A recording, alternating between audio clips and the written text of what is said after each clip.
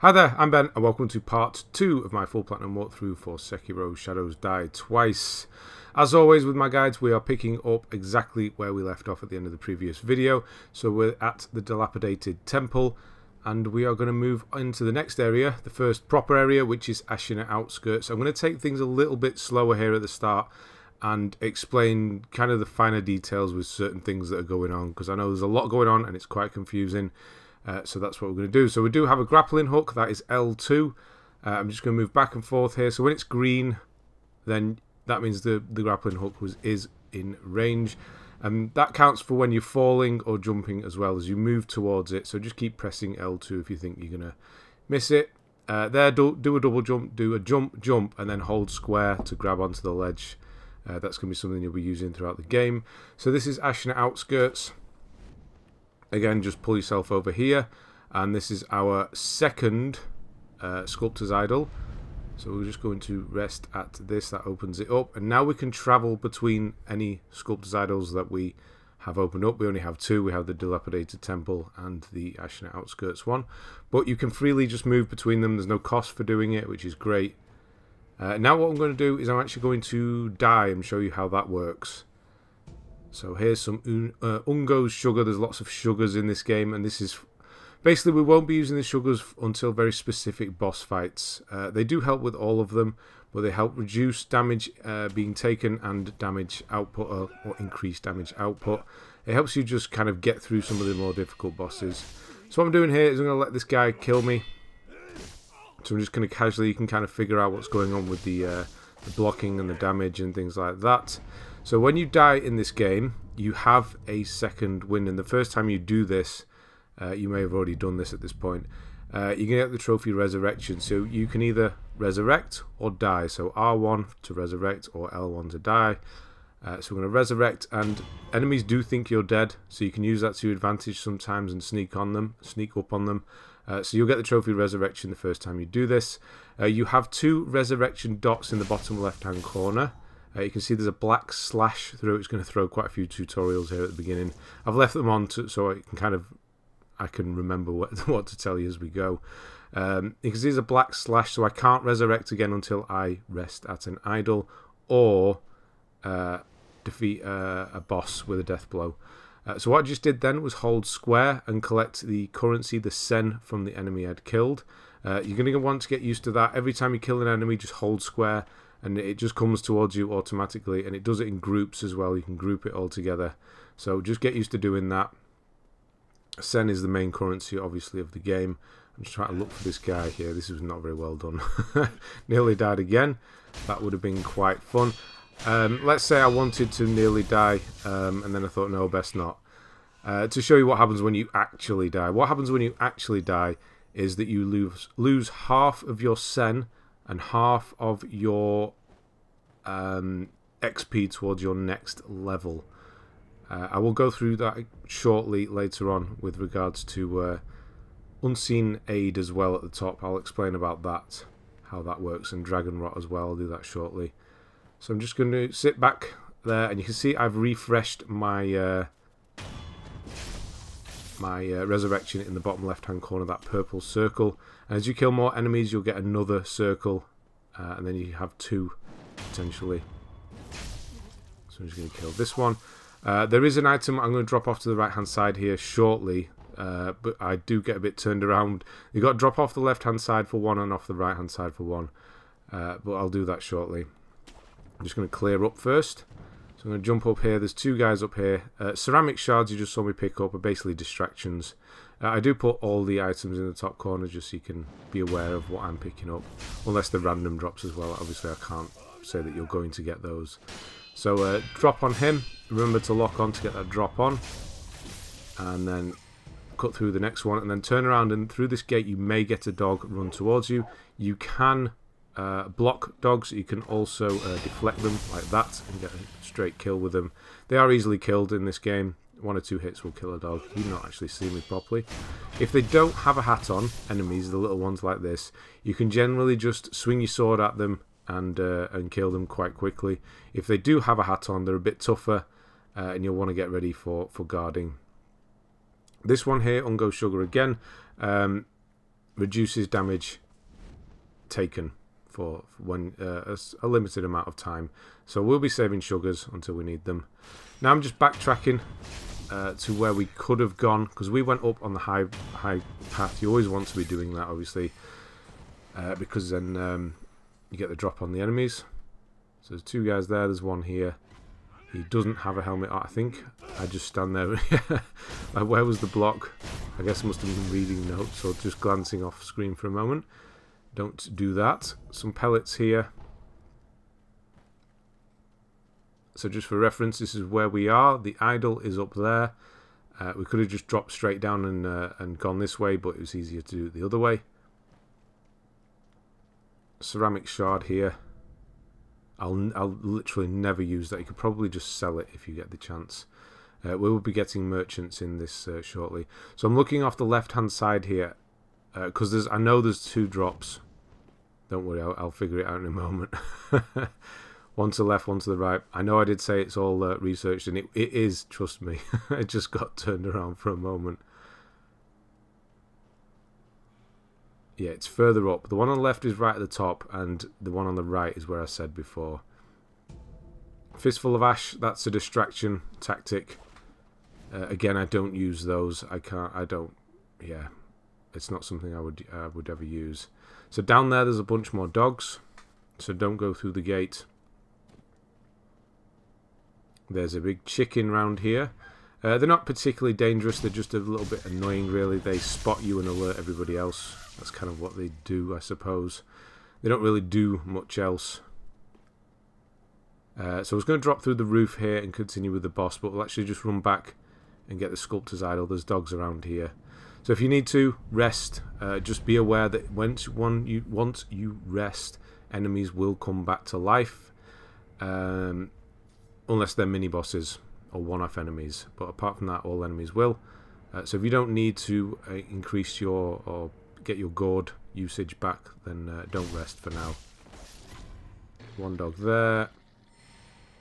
And one there. It's extremely satisfying to uh, deflect dogs' attacks, I must say. Some more useless ceramic shards.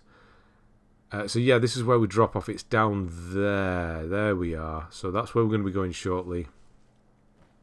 But we're going to just do this uh, this fight first. Yep, that's with the uh, everything's clear. I was just checking there wasn't a last dog there. Sure, there was another one, but I guess not. So this is the first of ten prosthetic tools. This is the Shuriken wheel. Uh, we'll fit this later on once we've just dealt with this little mini boss fight that's coming up. Uh, we need to go back to the sculptor to do that. Uh, so, yep, there you go. It tells us. The Shuriken's not necessary for this fight. And here's where I remembered. ah, yes, I remember now. It's off to the uh, to the right hand side here. That's right. So if you drop down here, you can see if you look to the, there we go. There we go. Bit of a better angle here. You can just drop down carefully and uh, grab Ako's Sugar, which increases your power, uh, your attack power for a limited time.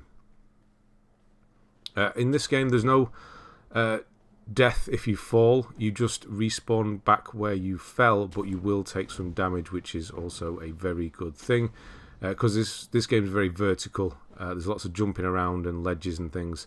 So if it's a, like Dark Souls or something where you died instantly, it would get extremely annoying. But then you know how annoying that is if you've played Dark Souls. Uh, there is a mini boss down there. Do not alert him. We're going to get one of the death blows done with stealth. So that's where we need to. We actually need to jump off there afterwards uh, to get the other thing. We'll do that afterwards, though. We're just going to do this uh, boss fight. This isn't one of the boss fights needed for the trophy. This is a mini boss fight, uh, but we do need this for the prayer bead and the gourd seed. So you can see above him his health bar there. He has two death blow counters, so you need to death blow him twice. That sounds kind of weird saying that. um, so you can get a stealth one, lock onto him, jump, and uh, get one free one there. And then he is fairly slow. His, his attacks are a bit delayed. Uh, and he does have a perilous attack, which you'll have to jump over. This one here. So when he does that, just jump. I actually hit him before he, he started the uh, attack off. Uh, we're just waiting for him to do certain things here. Because I can finish him at this point. But I want him to do the charge, which is there. If an enemy starts doing that, they're doing it. There, he's doing it again.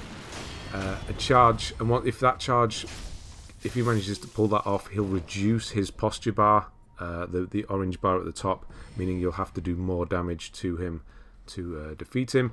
Uh, once you do defeat him, you will get a gourd seed and a prayer bead. We can't use the prayer bead yet, but we can use the gourd seed. And that's what we're going to go and do. Some more ash there. So we'll just run back through, go back to this sculptor, go back to the sculptor by trying to jump up here when I could just... No, it's not... Come up. There we go. uh, we're going to go back to the, the, back to the dilapidated temple. That's apparently very difficult to say. Uh, so yeah, we need four prayer beads, and that will increase our vitality, meaning we can basically our health bar goes up, and that's the only way we can increase our damage and our health is through prayer beads and after defeating a main boss. Uh, that's the only that's the only things you need to worry about with regards to leveling yourself up uh, that way. Right, uh, we'll go and speak to Emma. She will have lots to say. Uh, eventually, you'll be able to give her the gourd seed. Do that, and you'll get another usage of the gourd flask, Estus flask, whatever you want to call it. So we now have two uses. And then once we've done that, we'll go and see the sculptor. And he's going to fit our first prosthetic. Uh, he'll have lots to say about certain things as well. Shinobi tool. So, yeah. There we go. It's all different. All mean the same thing. And this is the loaded shuriken. Which is pretty useful for uh, killing certain enemies from a distance. Dogs and things like that you can kill from a distance now. And... Um, distracting certain enemies while they're doing certain attacks. It will come in handy, especially for the second main boss. So it's quite a useful one. Some of them I don't really use the tools, but uh, it is one of the 10 we need. Uh, so you can have three loaded and ready. So once you go and see the uh, the sculptor and have them added, then you can just put them in your inventory there. Uh, and this is spirit emblems. This is what I mentioned in the first video. Uh, we're, we're, using these now that we have a prosthetic tool. We just picked five up there. You see in the bottom right hand corner. We have five of them. Press R2 to use your prosthetic. So I just threw a shuriken and it costs one spirit emblem. Now spirit emblems you get from enemies. You just randomly pick them up. They'll just float towards you. You won't even notice it half of the time. Or you can buy them here at, at a, uh, uh, an idol you can stack them as well. You'll go over 15 and you'll just keep adding them to your inventory here. Uh, and you'll just pick them up as you when you go to idols automatically. Right, unseen aid in the top right hand corner is when you die, there's a 30% chance that you will not lose half of your Sen and your XP towards your next level. Um, the more you die, the, the the more this number goes down. There's something called uh, Dragon Rot in this game certain characters can get Dragon Rot, and if they get it, it basically reduces your unseen aid. Uh, you can cure Dragon Rot, but apart apart from that, there's nothing to worry about with regards to Dragon Rot. It may sound really bad, and the game does make it sound quite bad, but it's not that bad. It just reduces your unseen aid percentage, which can go as low as two. Uh, so the more you die, the the more that number goes down. But you can cure it, and I'll tell you how to do that later on. Right, this area is a little bit dangerous, uh, so do stealth first. I'm going round here, so we're basically just carrying on after that mini boss now. Uh, I'm letting this guy walk up the stairs here. He's going to speak to this one up here. There is no reason for us to do this apart from you may just want to listen to it. If you, this is the first time you're playing the game, uh, I'll be showing you little bits like this uh, so you can get backstory and things like that. Tips. So yeah, this is an eavesdrop section. Now, you may just feel like, right, I'm going to just go and drop off and kill these two. Do not do that. There's a guy with a rifle over in that broken building over there, that destroyed, destroyed building. Uh, we're going to go and get rid of him first. So, stealth, again, massive part of this game. So just be careful jumping around on roofs. They can see you on rooftops, but they have to be in line of sight. You're not invisible on rooftops. So I'm just going to wait here for him to walk past. And I'm just going to kill the rifle guy. If all hell breaks loose in this area, uh, there is a, a big guy with a mallet off directly ahead of me now. Do not run down into that corner uh, where that tree is. Just stay back or try and hide in the long grass. You can actually just run away from situations, mini bosses included. Um, so don't feel like you have to commit once you get seen. You can just run away and let them uh, lose where you are, like I'm doing with this guy here. So I've killed that rifle guy. There was an item behind him. I'll pick everything up once we've cleared this area. There's quite a few people around here. Got lucky here in that he, he didn't see that. So we'll stay low. I'm about to get seen. I did get seen, I think, there. So there's going to be three. Yeah, it's a good place to fight up here because it means the big guy with the mallet won't see you. Pretty standard enemies, really. Nope, they didn't see me. Just that one. So if you lock on here, stand over here and lock on, you can just make him out. He's behind this tree. Jump off, do a death blow, and you'll kill him instantly. Otherwise, it's a bit of a pain.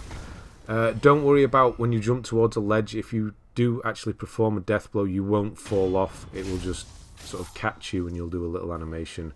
You won't. Uh, you won't fall off. Another two here, and there are two more. Uh, I do get spotted, but it's not a problem. There's one here. There's actually a rifle guy that sees me. I completely forget about.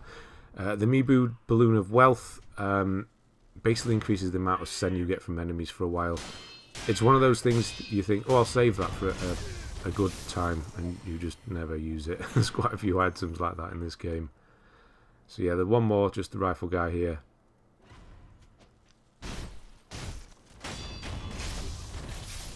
And that's this area clear. And now we'll uh, we'll go and grab everything. There's quite a lot to see here. So ceramic shards, yeah, no, don't need those. But we'll get them anyway. I'm trying to get up onto the rooftop here. If you go onto the other corner, this corner, there's a, a an anchor point, but apparently I anchored over here. I wasn't even looking there. But there's a, a light coin purse, which is 100 sen, which gets... It's basically hard currency in that you can't lose it when you die. Now there's going to be a little uh, trick we use with that as well. I'll show you once we get to the first merchant what that is. So jump over here and speak to this old woman and eventually she will give you the young lord's bell charm. Say that you are, uh, you're not her son and then carry on with the conversation and she'll give you the charm. We're going to be using this at the beginning of the next video to move to a new area. So just grab that for now. Don't need to speak to her anymore. And her son is actually over here.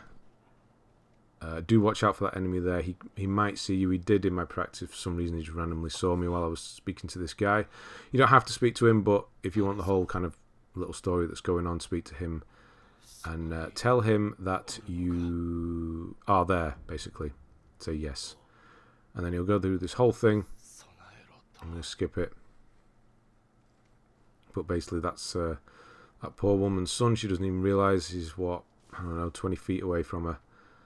Down here, there's two chickens. You'll be able to get one of them. They are a bit of a pain if they hit you. Yeah, they do hurt because they knock you over. How did it hit me then? I have no idea. But what we want is in here, break this, and there are three light coin purses, so that's 300 sen, and we're going to be using that shortly. You should have about 100, 150 uh, sen, depending how much you've died. Don't worry, you should have enough in your inventory to uh, to buy what we're about to buy. Don't follow him. Don't be tempted to go and kill him. It's a trap. Don't do it. Just jump up here. All the way up to the top and this is one of the memorial mobs, basically the merchants of the game. So you'll get a trophy for speaking to the first one. Uh, I was going to show you how to use the sen, but you can actually just uh, sell it to him, which is easier. So speak to him, and you'll get the trophy memorial mob, and you can purchase and sell items from these guys. Now, what you can do is you can actually buy light coin purses. So if you think you're going to die or you just got a bunch of sen, you can come to one of these and buy these light coin purchases. There's a 10% tax for it because they cost 110. You can only sell it for 100. So there's a bit of a tax to it. But it means if you die, you don't lose your sen. So always be aware of that. Uh, what I'm doing here is selling three I've got 230, so uh, I go up to 530. We need 500 sen to purchase these Roberts firecrackers. You should have 500 hard sen in five purses. Uh, so you should be able to buy that as well at this point. Plus whatever you've got on you. Uh, that's our basically our second shinobi tool. And a very, very, very useful one. Probably the most useful, maybe. Uh, so yes, we will want that. So yeah, get used to where the merchants are. Uh, and if you think, you know, I'm going to this area, it looks a bit dangerous. Uh, I've got a bunch of sen. Um, I don't want to lose it or lose half of it. Go to a merchant, and if you can, buy some more light purses. There are going to be uh, bigger purses that we can use eventually. So uh, yes, we'll do that. So the reason I'm resting here, I did have a quick look around. I've just skipped a little bit there just to make sure I knew where I was going. Is because we need to do a drop. You're going to need full-ish health. We need at least half health because we need to drop down to that ledge there. Don't worry, it's not going to kill you unless you've got no health, in which case it will. But jump off and land here, and there's going to be an extremely rare item in here, and this is a bundled Jizo statue. Now this is definitely one of those items you'll say, I'll save that for a very special occasion and never use. What it does is it restores a, uh, a resurrection point during a boss fight or any point. Uh, so there's some Gachiin's sugar that allows you to come a little harder to, to detect. We'll use that in certain areas as well, so don't just use it yet. So yeah, the, these statues, we've got two nodes in the bottom left there. Say I was doing a boss fight, I died once, I used one of my resurrections. That means I can't use another one until I've done a death blow. I can use the statue and it will give me access to that second one. So what I'm doing here, I'm just showing you the difference between uh, hooks, uh, circles there. If it has the little triangle in the middle, it means that you're just going to get thrown a certain distance. Uh, and then I'm coming around here to kill this guy because he's got a cannon and he's really annoying. That was that trap I was mentioning earlier. He's going to drop black gunpowder and antidote powder. Black gunpowder is for upgrading and antidote powder is for removing the poison status effect. So you can see there is a difference there in the grapple point. If it has a little triangle, you're just going to get propelled forward. And then if it's just the circle, you get pulled towards and stay there.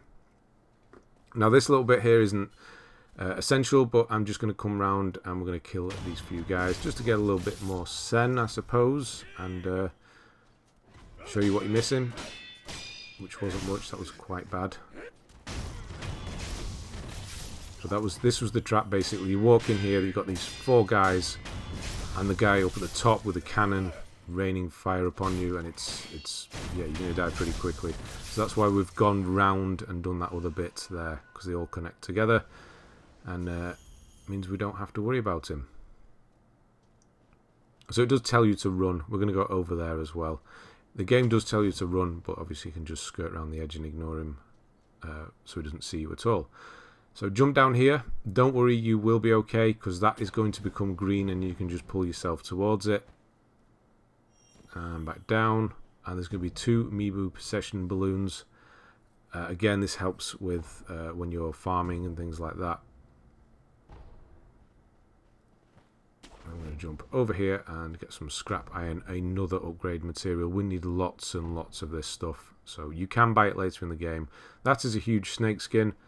Uh, spoiler alert, there's a huge snake somewhere. and then we're just going to make our way back. Nearly finished on this video. We're going to be not going any further than where we are now in Ashina outskirts. We're actually going to make a little detour to another area using that bell we just got from the old woman and then come back here. Afterwards we're just going to make our way to another idol though.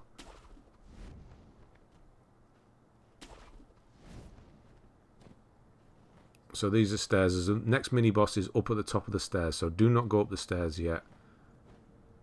We're just going to climb up. There's your next idol. You're going to get very familiar with this idol because this is where we will be doing a lot of farming later on. A lot later on. The area will look different, but uh, yeah, you'll you'll know where we are. Oh god, the farming. It shouldn't be uh, too bad. We'll break it up slightly. I'll give you the option to break it up. So just come back here. This is where the guy is on top of the wall with the cannon. There's a couple of pellets there I forgot to grab. But now we're going to uh, just drop down here and just interact with this for a bit more backstory, the remnant. So touch that and listen listen along. That doesn't really make sense. And then there's another merchant over here, but he's not a merchant just yet. So, what you want to do is speak to him, and you're going to need 30 sen, I think it is, and we're going to pay him for information. And eventually, once he's run out of information, so at first say that night, I'm just going to skip ahead now. And then when he asks you, then pay him 10 sen for some information. He's going to go on with himself for quite a while. And then eventually he'll run out of words to say. And you'll be able to purchase some more for another 20. If you don't have it, just go and kill a few enemies. I mean, 30 sen's not hard to get hold of. And eventually you'll get the flame barrel memo, which is not very helpful because I'm going to show you where the flame barrel is anyway. But it tells you where a certain prosthetic is. And then he will say that he will become a merchant now with the money that you've given him. He will, uh, so once he's repeating himself here like this, I'll procure some goods with the coin you gave me. Uh, when we come back here later on, he'll he'll be a merchant, which is good. And now we're just going to leave. We're going to go back to the dilapidated temple. I really don't like saying that. Apparently because I can't for some reason. So you can just use important places. It will always be there.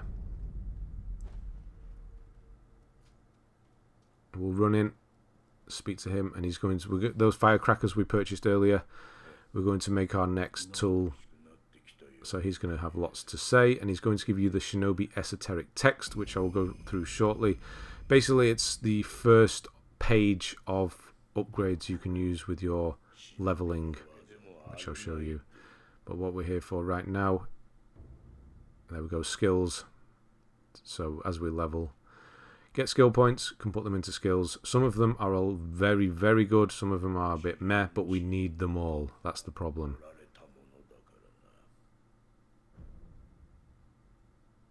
So present this prosthetic again and get the Shinobi Firecracker. So we now have two, so you can have them both and then switch between them using triangle.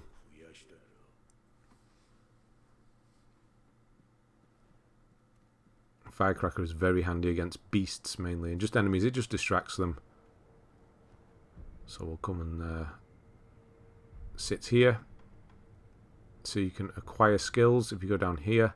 So we do have one skill point, so you can purchase this, but do not. We want the one below it, the Mikiri counter. It's extremely good, and we want it because it's very, very powerful against bosses. It allows us to uh, counter uncounterable attacks, basically.